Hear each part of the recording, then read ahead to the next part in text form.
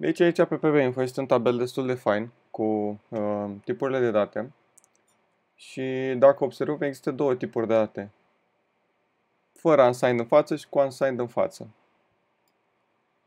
Alea cu uh, alea fără unsigned observăm că pot prelua și numere negative. Alea cu unsigned pot prelua doar numere pozitive, dar pot prelua mai multe numere pozitive. Și hai să, înțeleg, să înțelegem cum uh, funcționează chestia asta. Și uh, cea mai mică unitate de măsură, cred, nu știu unitate de măsură, dar cea mai mică unitate de măsură unde poate fi stocată memoria se cheamă bit. Și un bit poate să reține valoarea 0 sau 1. Salut, Y O grupare de 8 bits, în limba română este octet, sau în engleză byte. Deci 8 bits înseamnă uh, un byte. Și de obicei o să fie grupați uh, câte 8, dar spațiați de câte 4. O să vedem mai încolo de ce spațiați câte 4. Și mai ușor și să înțelegeți numărul cum, cum îl scriu. Că dacă scriu îngrămădit așa e mai greu de urmărit. Salut, Toto. Ok. Și aș vrea să scriu pe 7 în baza 2. 7 în baza 2 este 1, 1, 1. Gen 100, 111. Și de ce este în baza 2, uh, 111, numerotăm pozițiile de la dreapta la stânga. Deci a, aici o să fie poziția uh, să le iau descrescător, că e mai ok așa. 7, 6, 5, 4, 3, 2, 1, 0. Deci încep de la 0, numerotarea. Ok. Uh, aici avem o poziție în plus. Super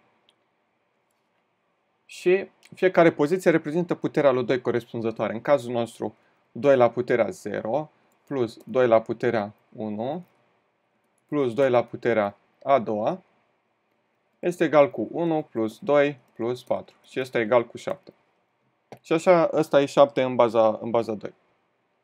No, și dacă ar fi numărul ăsta, să văd ce, ar, uh, ce valoare ar avea, e pur și simplu la numărul ăsta de aici adaug uh, 2 la puterea a 5-a plus 2 la puterea 6. Și nu știu, e plus 32 plus 64. Nu o să mai stau să-l calculez, că n-are rost. Ideea că e ușor de calculat să transform din baza, din baza 10 în baza 2 sau, sau invers. Ok. Um, o să discutăm mai încolo și de baza 16. Dar acum să trecem... 24 septembrie, ești normal.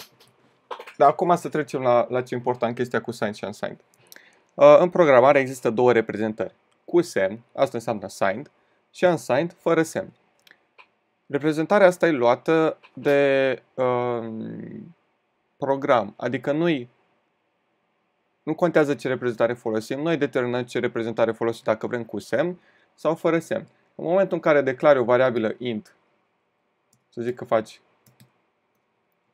să nu șterg asta, văd că nu pot să, așa, în momentul în care declari int x, îi spui procesorului să utilizeze reprezentarea cu semn. Dacă vrei să-i zici să, nu să utilizeze reprezentarea fără semn, îi zici unsigned. Și acum ca să vedeți ce reprezintă fiecare. Într-un număr, bitul cel mai din stânga este considerat most significant bit, adică bitul cel mai important. Bitul cel mai din dreapta e considerat least significant bit, cel mai puțin important. Bitul cel mai important dintr-un număr este, poate fi considerat bit de semn. Și asta e considerat bit de semn dacă avem o reprezentare signed. Că dacă o avem fără semn, nu putem să considerăm bit de semn, că de aia se cheamă reprezentare fără semn. Și bitul ăsta, dacă este 0, numărul nostru este pozitiv, dacă este 1, este negativ. Deci în cazul nostru avem plus 7, dacă aici aveam 1, nu este minus 7 cum ați credea numerele negative se calculează diferit. Și hai să vedem cum transformăm uh, din număr uh, pozitiv în număr negativ în baza 2. Ok, deci avem codul ăsta binar 00011 uh, și vreau să-l uh, transform în număr negativ. Există două metode. Prima metodă are doi pași, deci metoda 1 Prima dată ar fi să neg toți biții uh, numărului în baza 2. Cum adică să neg? În cazul în care găsesc 0, pun 1 Și în cazul în care am, pe pozițiile unde am 1, pun 0. Și primul pas este să neg biții și al doilea pas este să adaug 1 la acest număr. Ok. Și asta ar fi uh, minus 7 în reprezentarea cu semn. Metoda 2 ar fi să, la numărul acesta, citesc de la dreapta la stânga, iar toate zerourile le las la fel până la primul 1 întâlnit. În cazul nostru n-am niciun 0 la final și o să las doar unul la fel de la final. În rest, schimbăm invers toate semnele. Asta e, cred că e mai greu de înțeles. Mai ușoară, cred că mi s-ar părea prima de folosit. Neg biți și după aia adaug unul. E super simplu. Ok. Și de ce reprezintă chestia asta? Este minus 7 în reprezentarea cu semn. Dar totodată, chestia asta în reprezentarea fără semn are altă valoare, o valoare pozitivă. Uh, da, David, to use complement method. Da, e complementul lui 2. Uh, complementul la 2, nu la 2, scuzați. Și ce valoare are asta în reprezentarea fără semn? Păi, uh, hai să vedem. 2 la 0 plus. Pe 2 la 1 avem, avem uh, bitul 0, deci nu avem nevoie, valoarea 0. Pe, bitul 2, uh, pe poziția 2 avem valoarea 0, deci nu avem nevoie. 2 la 3, 2 la 4, 2 la 5 plus 2 la 6. Uh, sunt două metode de calculare a numerelor. Când avem mai mulți de 1 și avem mai puțin 0, putem să calculăm întreaga sumă de 1 și să scădem pozițiile unde e 0. Deci în loc să fac așa, cum o să fac? Și în loc să fac 2 la 1 plus 2 la 2 plus în continuare, în cazul care vreau să aflu valoarea acestui număr, 1, 1, 1, 1, 1, 1, cum o să fac? Nu o să fac suma, că durează mai mult. 2 la puterea, numărul de poziții plus 1. În cazul nostru, uh, de fapt numărul de poziții.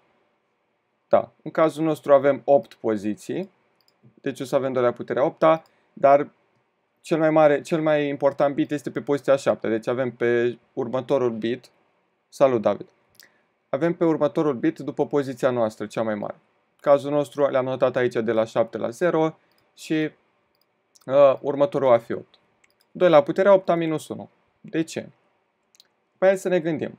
La noi cum ar arăta 2 la puterea 8 -a? De ce e la fel? Uh, de ce e chestia asta? E că pozițiile pleacă de la 0, aici e poziția 7 și următorul la 8. Și minus 1, dacă scădem 1, obținem următorul număr. 1 minus 1 este 0 și ar trebui teoretic să mă împrumut de undeva inexistent. Și rămân cu chestia asta. 0 minus 1 nu pot și mă împrumut de aici, nu pot să mă împrumut nici de aici, și nici de aici, și nici de aici, și nici de aici, până mă împrumut de aici. Ok. și dacă mă împrumut, mă rog, ideea e că scăderea în baza 2, uh, să zice că e ca scăderea în baza 10, numai că e numai cifrele 1 și 0. Deci ar fi mai puține calcule de făcut. Și pur și simplu 2 la puterea 8 cred că 2 la a, 10, 512, 128. 256. Da. Ok. Deci 2 la puterea a 8 minus 1 e 256 minus 1, 255. Deci valoarea mea de aici este 255. Nu, 128 eu calculasem de la cât pot spune pe uh, 4 bits, cred. Nu, nu. Pe signed. Mă rog, o să revenim și la, și la signed. Ok, avem 255 și ca să vedem valoarea asta de aici, cum o să facem? Facem 255 minus 2 la puterea 1 minus 2 la puterea a doua. Și avem 255 minus 3, uh, minus uh, 6, 2 la 1, da. Și avem 249. Astfel, numărul acesta are două valori. Deci, în signed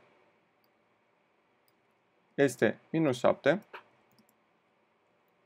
signed și unsigned este 249.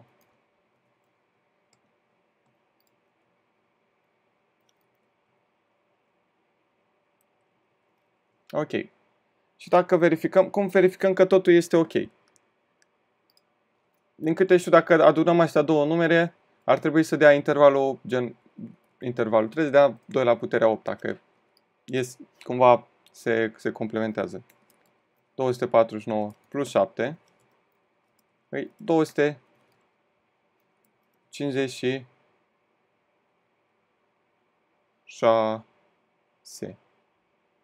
Da, da, e corect.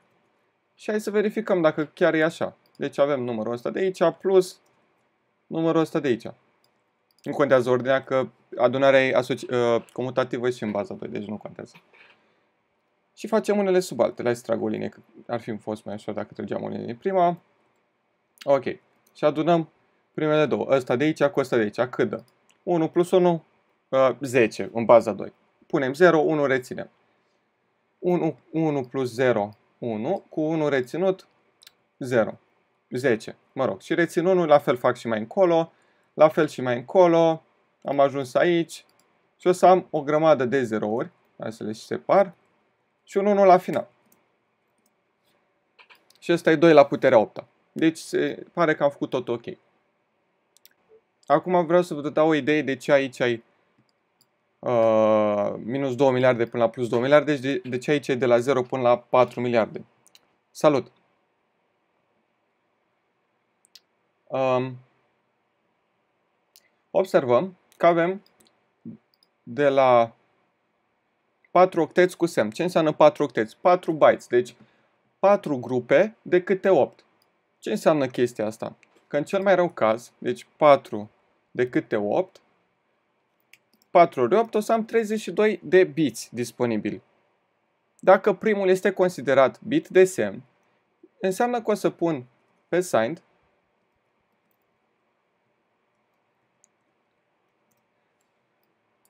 o să pot pune doar numere din intervalul 2 la uh, da, din intervalul 2 la puterea 3 minus 3, deci minus 2 la puterea 31 până la 2 la puterea 31. De ce? Uh, 31 minus 1. Ok. Dacă ultimul nu, nu-l putem face pentru că are ieșit din, are ieșit din interval. De ce chestia asta? Primul bit este considerat bit de semn. E, și dacă nu mai considerăm bitul ăla bit de semn, atunci avem un bit în plus. De aia funcționează pe unsigned. Observăm că intervalul în partea din dreapta e dublu. Se adaugă încă un bit și mai avem un spațiu în plus. Numai că problema e, nu mai ajungem în partea stângă. Ok. Și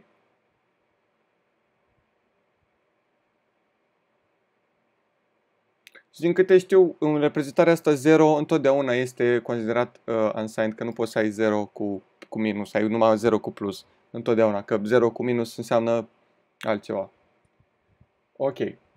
Și aici nu mai, nu cred că are rost să facem. E același lucru. La, vedem dacă la long long int, minus 2 la 63, avem 8 octeți, 8 ori 8, 64. Primul bit e considerat bit de semn, înseamnă că pierdem un bit. Deci o să avem numai 2 la 63. E, dacă bitul respectiv nu este considerat bit de semn, înseamnă că o să avem un bit în plus. Deci e 2 la 64.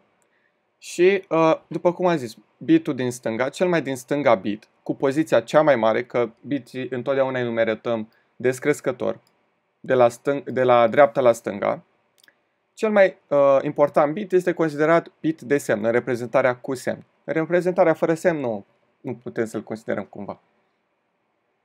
Anyway, e foarte interesantă notația și că chestia asta, dacă schimbi aici bitul în 1, nu-ți face numărul cu aceeași valoare pozitivă dacă cu minus în față. Nu e același lucru. Important de știută chestia asta.